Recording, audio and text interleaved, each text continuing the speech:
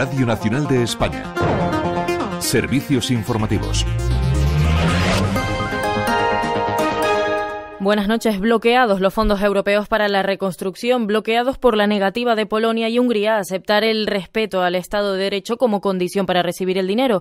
Y el Consejo Europeo no ha encontrado una solución en su reunión telemática de este jueves. Hoy resuena el eco del apremio de los líderes comunitarios. Los 140.000 millones de euros son vitales para las economías de los 27. Charles Michel es el presidente del Consejo. Tenemos que estar unidos en esta cuestión. Este paquete financiero es esencial para la recuperación económica. Tenemos que ponerlo en marcha lo antes posible. Unidad, trabajar coordinados es lo que propone hoy también la ministra de Defensa a sus homólogos europeos. Pone sobre la mesa la posibilidad de crear un, cuerpo sanitario militar común para responder a la pandemia en un momento en el que los estados de la Unión tratan, eh, tratan de salvar la Navidad.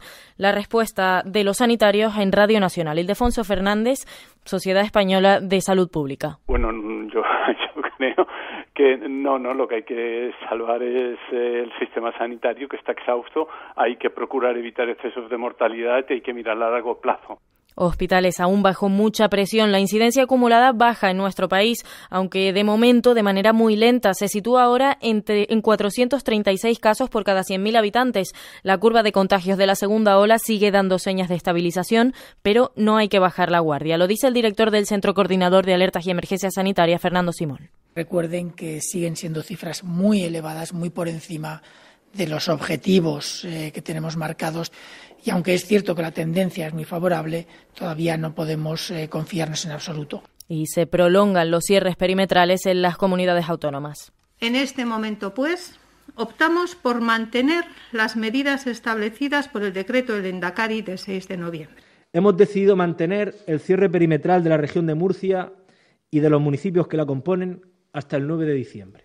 Consejera de Salud Vasca, Gotzone Sagardui, presidente murciano Fernando López Mira se suman a esta prórroga la Comunidad Valenciana y Castilla y León, donde Burgos ha estrenado esta pasada medianoche nuevas medidas. Se blindan las regiones de cara al puente de diciembre. La Comunidad de Madrid va a comunicar hoy las restricciones que estarán en vigor durante esos días festivos.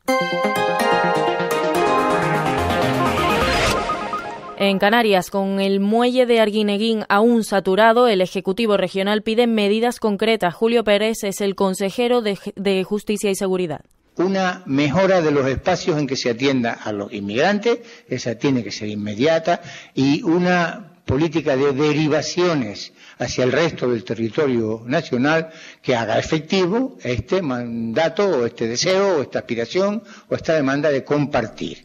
Saturado el muelle después de que el Ministerio del Interior haya trasladado a 200 migrantes a las instalaciones militares de Barranco Seco, reforzando también el dispositivo policial con agentes antidisturbios. El titular del ramo, Fernando Grande Marlasca, viaja hoy a Rabat para impulsar la colaboración entre los gobiernos español y marroquí en respuesta a esta crisis. Coordinación, pero al Ejecutivo Nacional pide la alcaldesa de Mogán, Onalia Bueno que en todas las crisis, en todas las crisis del mundo siempre hay alguien que abandera, que está en la locomotora y el resto se une, que son los vagones. A día de hoy no sabemos quién es el sabemos quién es el mando único, pero a los resultados nos remitimos que no está funcionando.